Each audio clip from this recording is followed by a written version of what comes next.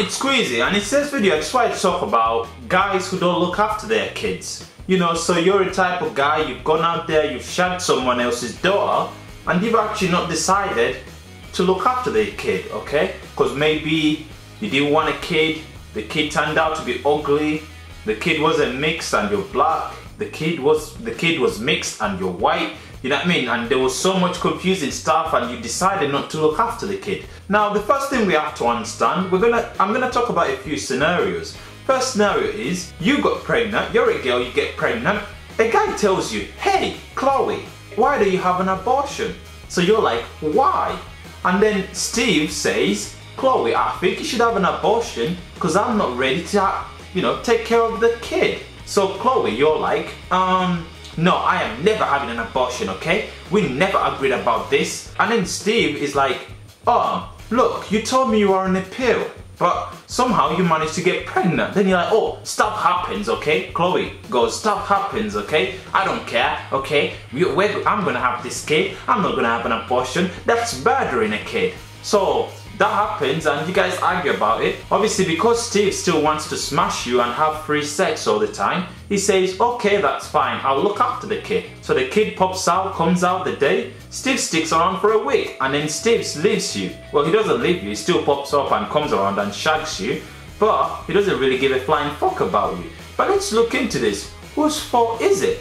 It's not really Steve's fault and it's not fully your fault, but it's all your fault. It's all Chloe's fault.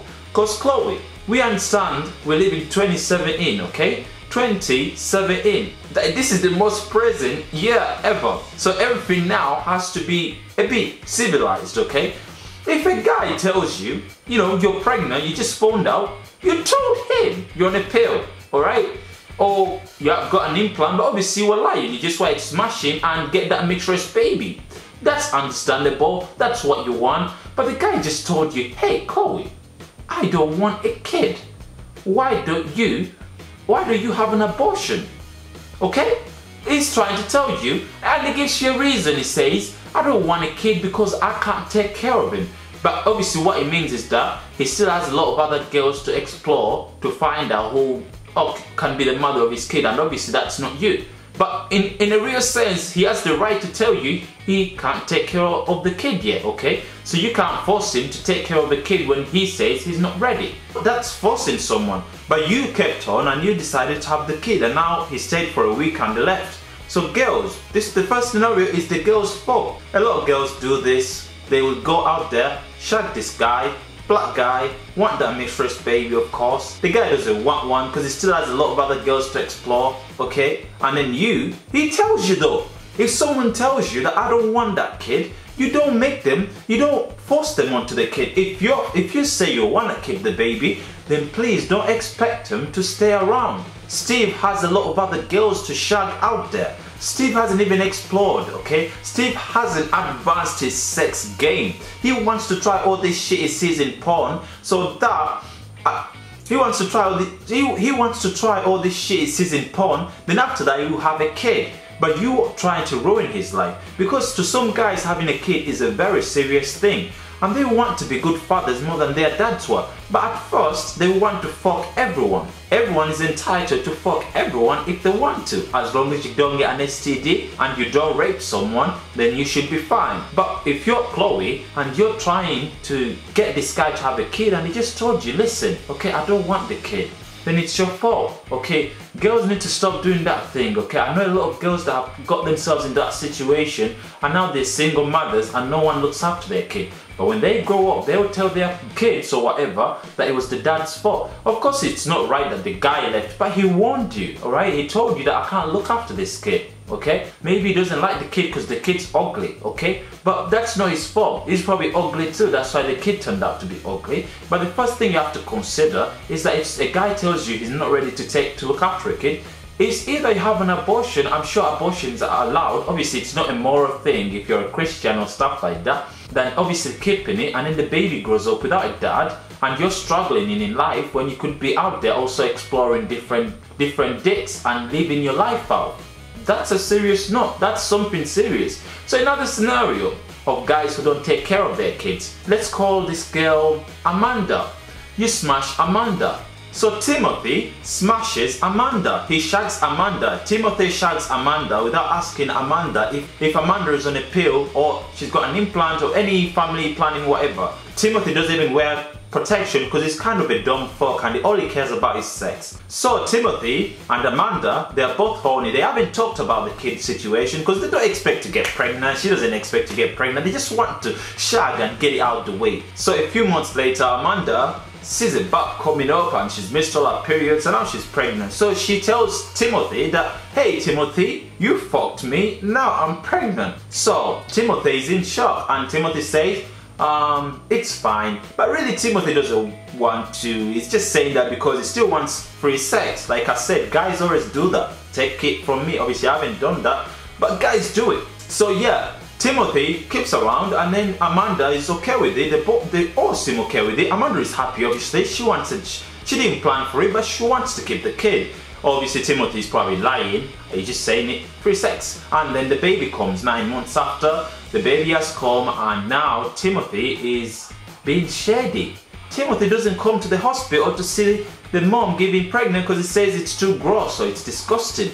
But that's fine, it's understandable. I don't think I would like to see a baby coming out of vagina too.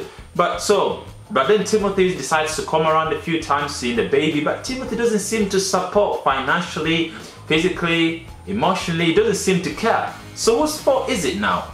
This fault, this time the fault goes to Timothy.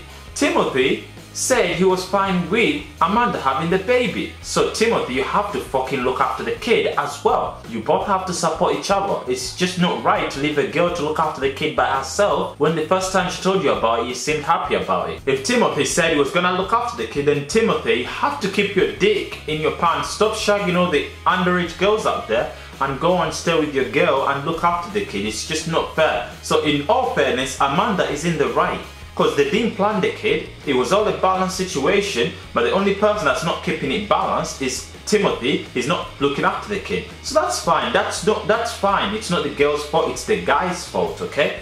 But my advice to you, obviously, if you're a girl, do some research. A lot of girls complain about guys not looking after them. I've seen so many posts, man. It's very rare for a guy to be the one that's looking after the kid. It's obviously common sense. If the woman is the one that keeps the baby in the womb, then it's easy for a guy to take over. As if you're a woman and you've got a baby or a girl, you've got a baby in the womb, then it's really hard to run away from the baby.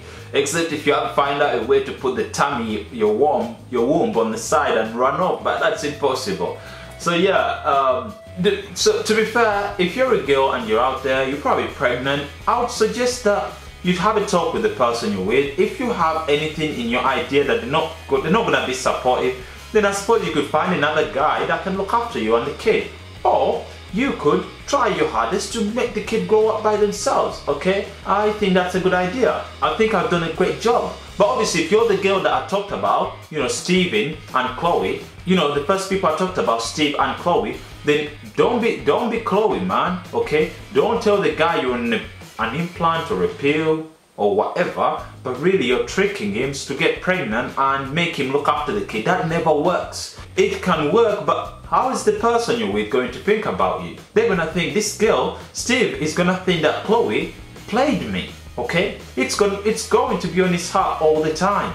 Okay? He'll probably find some point he will do revenge on you and you won't like it. So make sure like you talk about stuff like this with your boyfriend, okay? If your boyfriend is an ugly guy, I suggest you talk to him and tell him if the kid comes out, the kid's probably gonna be ugly like you. So that he understands, so he doesn't act shocked when the baby comes out ugly. Because I've actually seen a post on one of the social networks of a guy saying that the kid wasn't him because the kid was really ugly. But if you look at the guy's profile picture, the kid was ugly as fuck. So actually now it's wise to tell the guy you're with to talk about to the guy that you're with that you're ugly, the baby will be ugly, can we be fine with that? Then when he says he's fine with that, then that's fine, okay? Just make sure you talk about things, man. Don't get people trapped. Girls, please stop doing that.